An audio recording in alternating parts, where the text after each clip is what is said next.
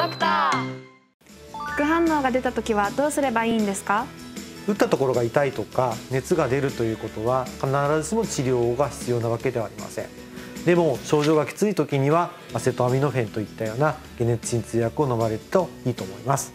アナフィラキシーというアレルギーはだいたい打った後にすぐ出ることが多いですのでその場で治療しなきゃいけないことが多いです。ワクチン接種はお早めに。